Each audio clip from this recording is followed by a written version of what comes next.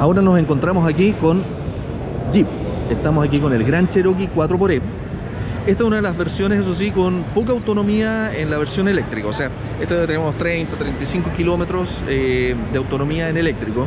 Es un vehículo que principalmente eh, todavía depende de su motor a combustión. El motor eléctrico es simplemente un motor que trabaja en tándem y que ayuda a las salidas y al empuje del motor a combustión, lo cual lo hace ser más económico. Es una etapa como de transición, pero oye, eh, es un Jeep, es un gran Cherokee, pues es precioso.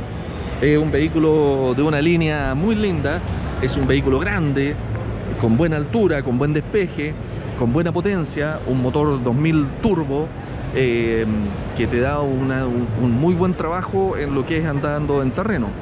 Así que vamos a pegarle una miradita por fuera primero, luego ahora vamos a entrar y vamos a ir probando todos los espacios interiores que tiene el vehículo.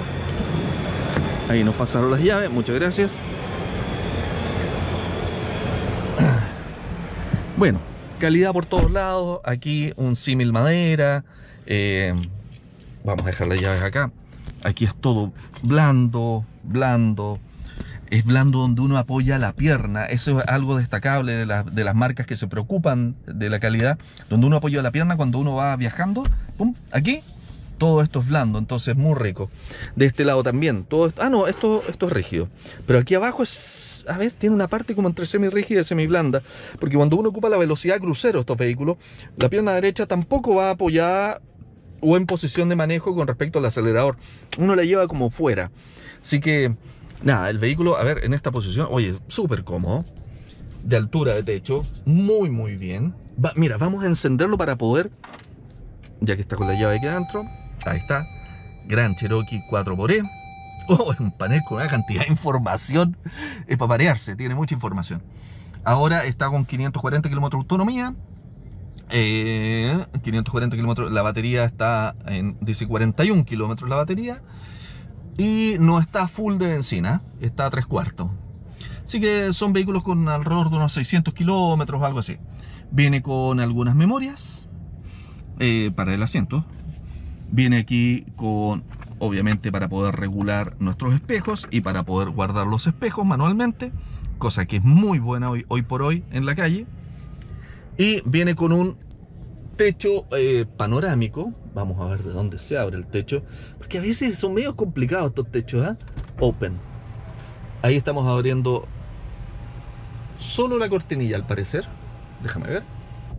No, ahí abrí, eh, claro, el, el principal. Entonces eso abre y ese, el, el de este lado me abre la cortinilla, este me abre el principal. Me abre todo el techo. Vamos a abrirlo completo para que vean.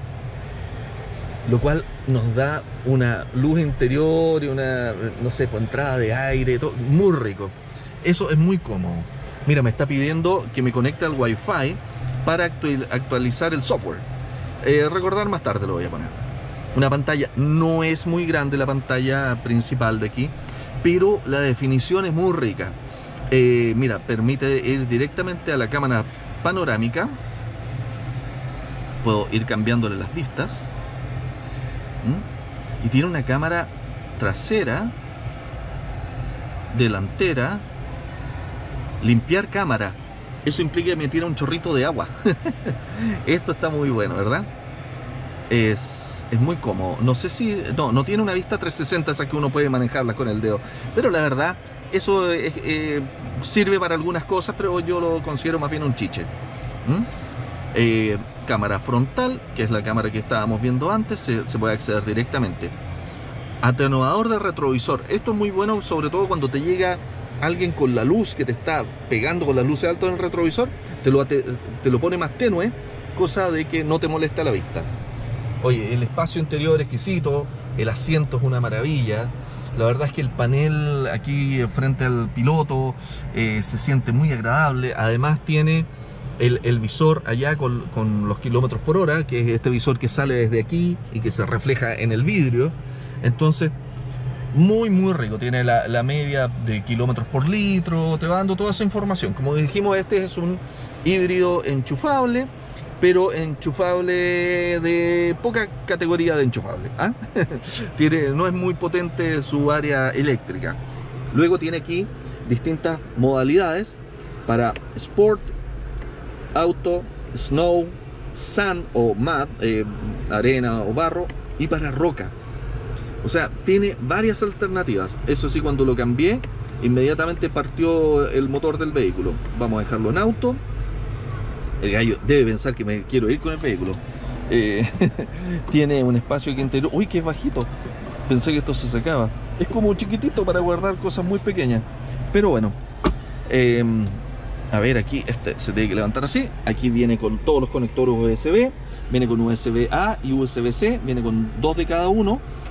Eh, viene también con uno de 12 volt. Y viene al parecer con cargador inalámbrico para celulares acá. Y este se cierra así. Pack. Luego el sistema de climatización. Ah, no es el volumen, perdón. Eh, acá viene el sistema de climatización con una temperatura en, en grados. También tiene eh, calefacción de los asientos. Acá tienen la calefacción de los asientos en tres niveles. También tiene refrigeración de los asientos en tres niveles y calefacción del manubrio en un nivel. Estupendo, genial. Eso es el área del piloto. Acá viene la del copiloto que viene también con calefacción de tres niveles y refrigeración de tres niveles y seguramente esto es la temperatura que uno le puede dar. Mira, uno le puede dar temperatura a esa calefacción. Está genial esto, muy muy bueno. Bueno, es un Jeep. Jeep se caracteriza por hacer las cosas de una calidad extraordinaria, ¿no? Eh, no, no hay nada que uno reclamar, decir, ¿sabe qué? No, la calidad de esto estaba media pobre. No, no, no. Jeep hace las cosas como corresponden. Aquí además tiene el hold, tiene el 4x4 low y el control de descenso. Viene con control de descenso el vehículo. Así que excelente. Vamos a pasarnos a las plazas traseras. Para pasarnos, ahora, para pasarnos a las plazas traseras vamos a apagar el vehículo, cosa no vaya a ser que alguien se suba y lo ponga en, directa o algo parecido y salgamos andando y atropellemos la mitad de la feria. Así que vamos a apagarlo. Ahí se apaga el vehículo. Vamos a irnos a las plazas traseras para ver qué tal es el espacio interior en nuestra posición de manejo. Nosotros años atrás tuvimos Jeep, Cherokee, son muy ricos, nos duró muchos años, son realmente excelentes. Así que, mira, ahí se ve el espacio interior. Eh, oye, qué cómodo. Creo que está un poco echado esto. Un poco acostado, no sé. Debe tener, aquí debe tener regulación. Claro. Uh, excelente. Excelente. O sea, me voy durmiendo aquí mucho espacio para las piernas, mucho espacio abajo, yo calzo un poco más de 44 y ahí están mis pies metidos totalmente adentro. Eh, tiene sus bolsillitos, tiene sus espacios aquí como para poner el celular. Eh, esto está todo engomado, ¿ah? muy, engomado, cosa que los celulares no salgan volando. Acá está el control para el aire aquí atrás, luego aquí abajo tiene cuatro conectores USB, tiene también eh, calefacción de los asientos traseros.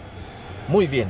Ahora, el asiento central eh, se ve bastante bien. Tiene igual este apoyabrazo eh, que viene con para poner los vasos, pero no se ve incómodo. A pesar de que, tiene, un túnel central, de que tiene aquí un túnel central, no es muy alto. Y se siente bastante cómodo para una persona que puede ir acá, lo más bien con todo el espacio que hay en el resto. Eh, yo no creo que tengan problemas de, estar sentado aquí. No sé si muchas horas, ¿ah? aquí en el, en el asiento central me refiero. Los de los lados son exquisitos, son unas butacas muy ricas, muy cómodas para ir sentado. Voy a apagar las luces, tiene unas pequeñas luces LED aquí en el techo. Y eh, se ve muy bien el vehículo, es muy lindo, se siente muy cómodo, se siente con buena tecnología. La pantalla podría haber sido un poquitito más grande, Nada más, pero eso ya es quisquilloso de cada uno. Acá además viene con cortinillas incluidas, para que uno no tenga que andar comprando esas cuestiones que le ponen encima, no, aquí viene con cortinillas incluidas para tapar el sol cuando uno tiene ganas de ir descansando y no quiere que le llegue tanto el sol.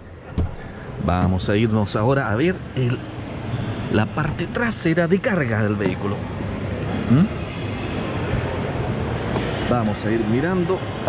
Vamos a abrir el portalón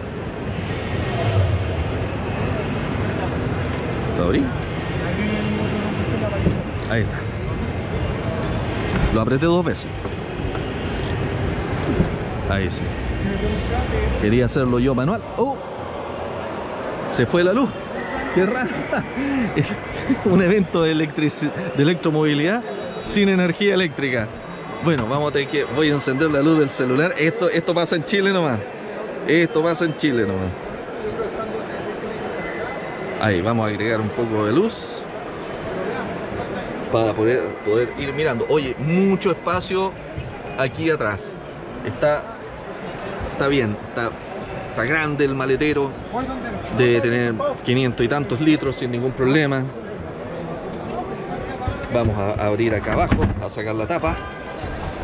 En la tapa viene una rueda completa casi. Eh, no, es más chica, no es tan ancha, pero, eh, pero viene la rueda de repuesto, viene con sus gatas, viene con todas sus cosas.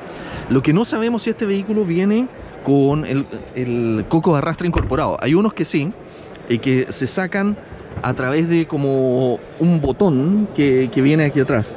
En este caso no lo estamos viendo.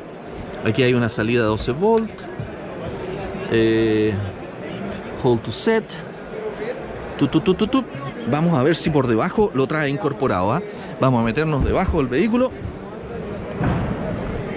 No, no lo trae. Este modelo no lo trae incorporado. Hay unos, como les decía, que sí lo trae incorporado. Bueno, todavía no vuelve la luz. ¿Y este hold to set? Hold to set. Ahí está. Ahí está cerrando.